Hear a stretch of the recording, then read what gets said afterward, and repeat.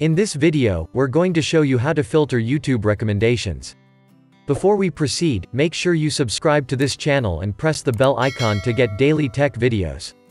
Let's get started. When we open YouTube, it opens at the Home tab where we get recommendations based on watch history. The recommendations are organized randomly in the Home section. But now YouTube added a stripe of categories on the top.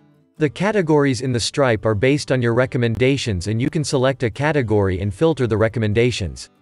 For example, if I choose the operating systems category here, it refreshes the page and hides all the other recommendations and shows videos related to operating systems. The same goes for comedy and any other category on the strip. At the end of the strip, you can also sort recommendations by upload time. That's it guys, this is how you can use this category stripe to filter YouTube recommendations.